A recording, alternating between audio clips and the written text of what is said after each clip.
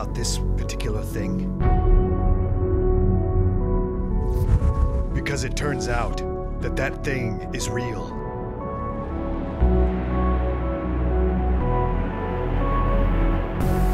Spin me right round, baby, right round like a record, baby, right round, round, round.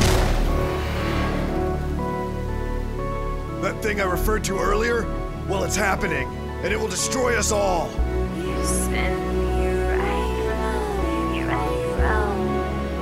Someone has to stop this thing, like a record, baby, right round, round, round. and that someone is you. You didn't think it would be that easy, did you? You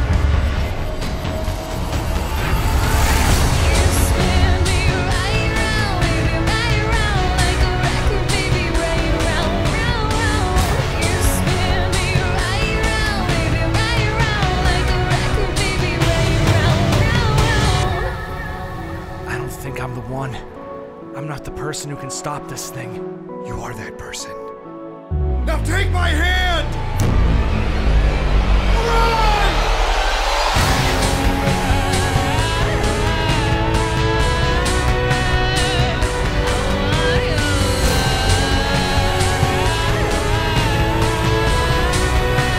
For every action, there's an equal and opposite reaction.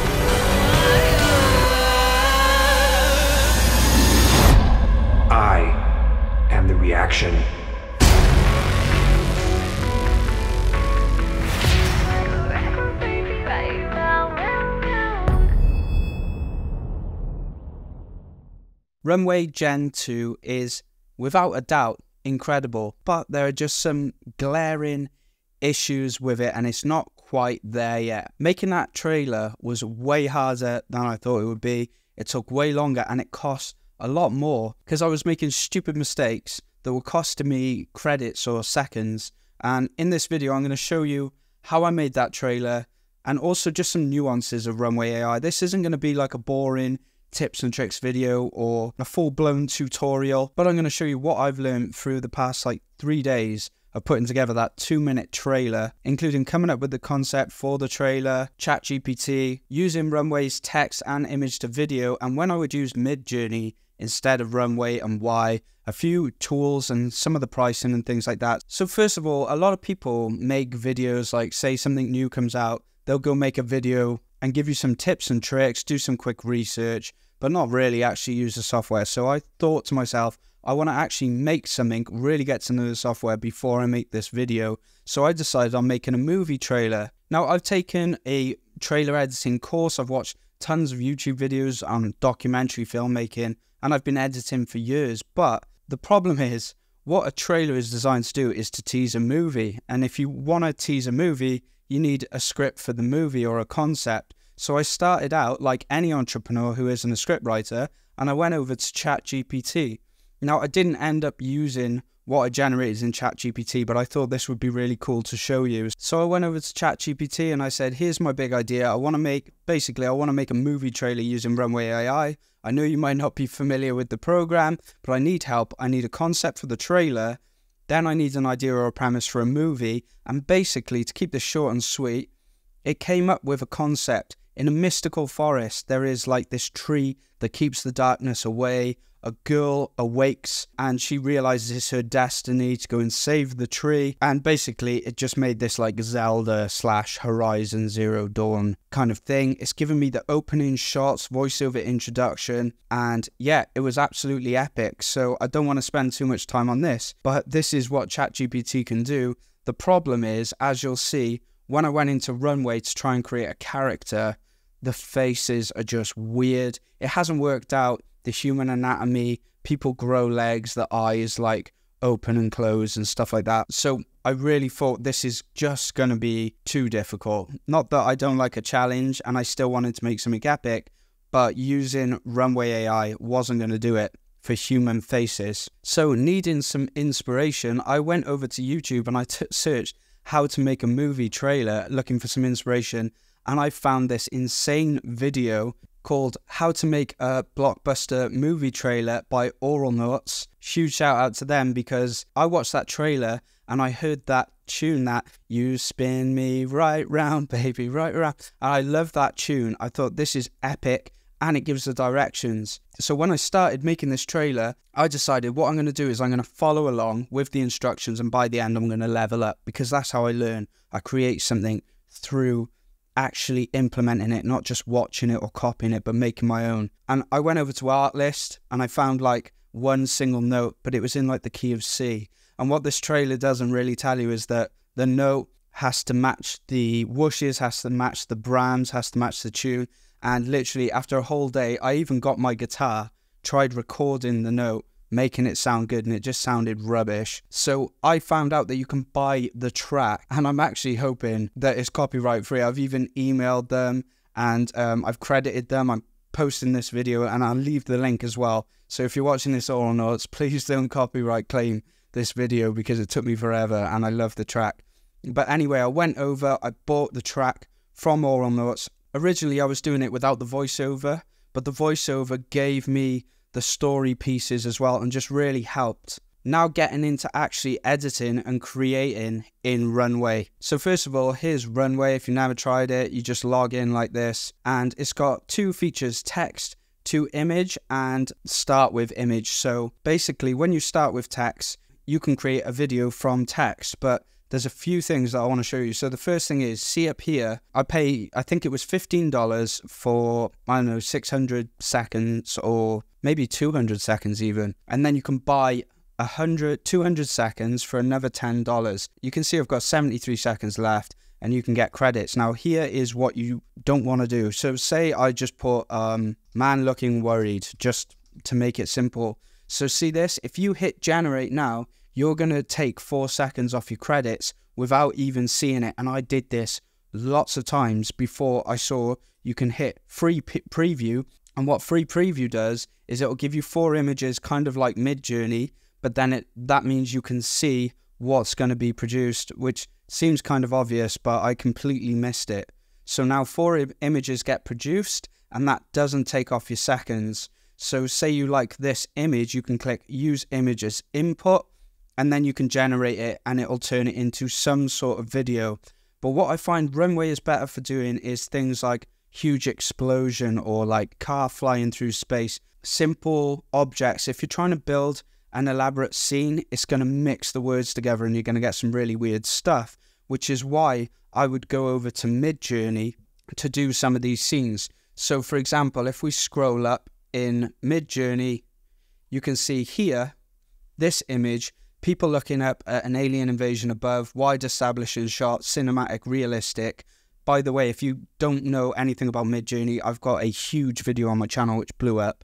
Uh, I didn't expect it, but I show how to cut them out into layers and animate them.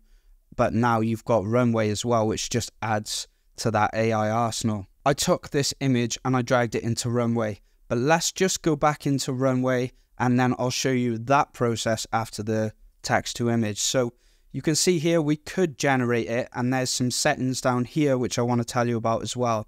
So interpolate smooths out the frames. I've tried with and without and to be honest it's always a little bit weird. Upscale I keep that on and remove watermark. This is super annoying because a lot of the time this is off by default and then you'll you so you could be subscribed where it says your watermarks removed but you have to make sure you click that.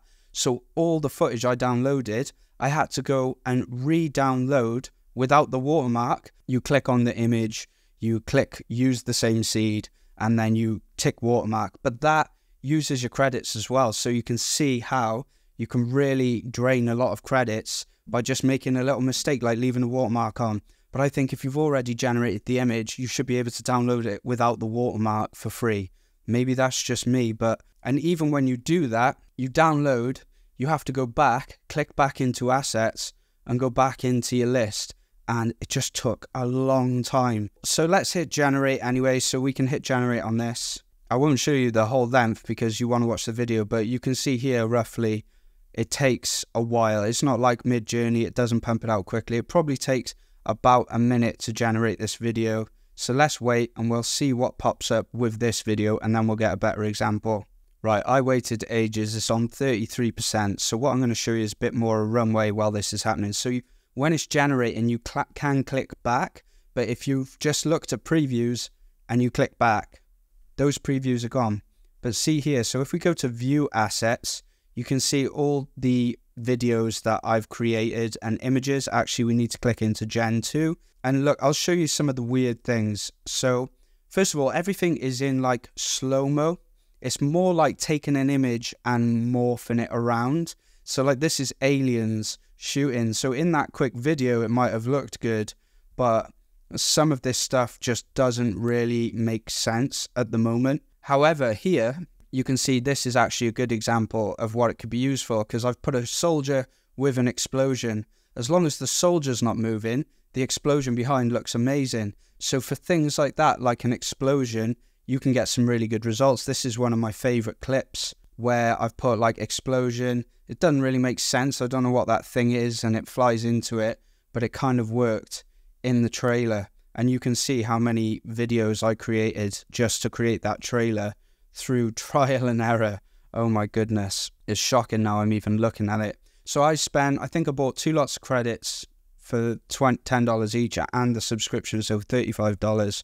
So now if we refresh, we should be able to see if that new video is rendered. Yeah, so you see here, you're in your assets and you can double click in and we can have a look at this. This is actually a pretty impressive shot. It's good because the face isn't moving, so you've just got the cars in the background. Well done, Runway. I think, again, it is incredible for just adding a bit more depth than just a normal picture. Again, if the guy's got a helmet on or something like that, then this can look really good because it's just like a solid image with some decent contrast and like less facial, less facial or human movements. So if you click Gen 2 and you click this magic button, you get back to your prompt. So this is what I was showing you. If this was a preview and the watermark wasn't removed, you have to click watermark again. You want to click fix seed so you keep the same random generator number and then you generate it again without the watermark. But even if you don't click fix seed and you miss that, generate it, now you get a different animation, you could end up spending like 12 seconds on four seconds. Also, it does four second clips by default. I think when you're subscribed, you can increase the clips. Now, the next thing I want to show you is the camera motion and when this has worked really well. So let me find an example that actually works. With this image, I went into Midjourney. I created this image, but I only wanted the spaceship to move, to move down. I didn't want the people going, doing all weird stuff. So what I did was, well, in fact, we can do it again. So I'll go to web here, download this image. And now in Runway, we can go start with image. I'm going to drag my Midjourney image into Runway and upload here. And now what you can do is click into Motion Brush, says you don't have to be specific. And now if we just drag roughly around the spaceship and sort of paint this, you can set the direction and then we're going to go vertical and we're going to drag it down a little bit. It's going to just animate that and bring it down. I think that people still do weird stuff, but what can you do? So we'll click save and then we'll click generate. So I've been here like two minutes and it's on 39%. That's finished rendering now. So let's click in and you can see the spaceship animates down from using the motion brush tool. So that's one cool way to use it. So now finally, let's just go into the timeline. I'm just going to show you a few extra little cool things that I did here. First of all, I've downloaded these black aspect ratio bars, makes it more cinematic. And if I go to my sequence settings, so I've made this in 1080p, but the default aspect ratio for the runway clips is 2816 by 1536. So it's kind of a little bit outside of 1080p when it fits. There's small black bars. So to zoom in and out, I've put the black bars, it made it more cinematic and it means I can kind of zoom in and out. So I've done a few extra things here. So this shot with the helmet, I've actually just taken two shots, put a mask around it, put it onto screen mode, added a bit of feather, and that's how I got that visor shot.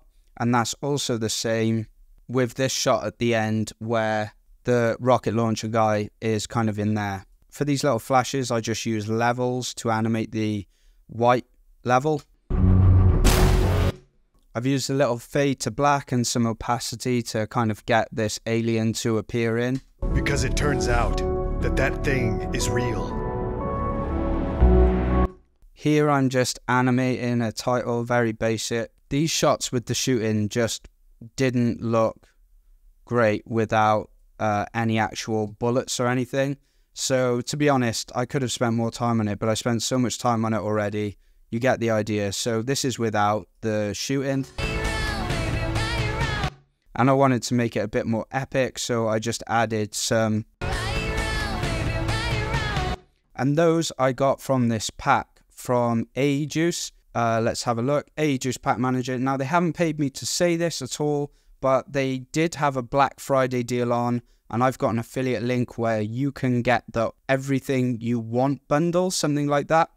And you can get basically like a billion assets for nothing.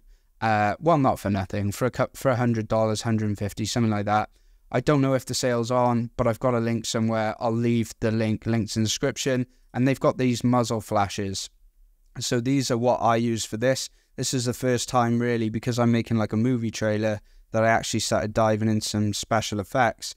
But as you can see, I'm not going to just sell you this thing now, but they've just got tons of stuff. You get it cheaper, I get it cheaper, and they make some money as well. So if you buy that pack, everybody wins. Again, I added some bullets here.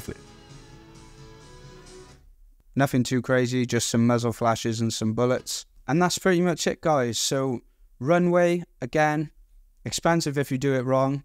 Good for creating things like an explosion or somebody with a helmet on or a close up shot. Also, it's a lot harder to get the exact scene you're trying to describe, whereas Midjourney's really advanced with that. So, I found sometimes I'll make the thing with Midjourney and just animate with runway. So that's it for the video. I'll leave you with the trailer one more time. Thanks for watching. If you like making videos and making money, making videos and stuff, uh, subscribe, go for it. Goes a long way. Thank you very much. See you in the next one.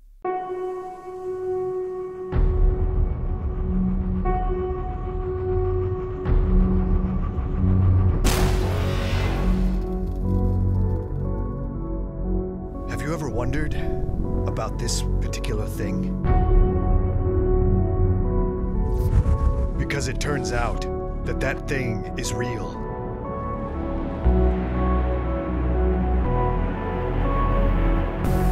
Spin me right round, baby, right round like a record, baby, right round, round, round. That thing I referred to earlier? Well, it's happening, and it will destroy us all.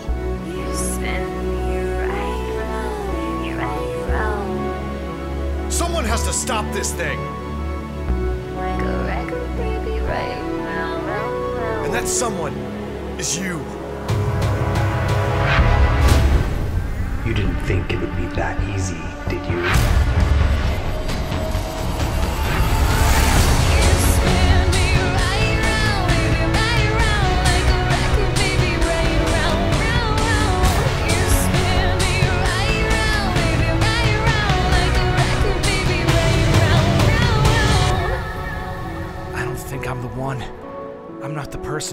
stop this thing.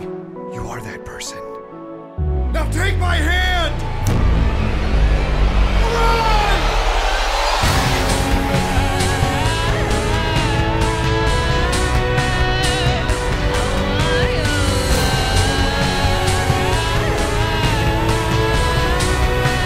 For every action, there's an equal and opposite reaction.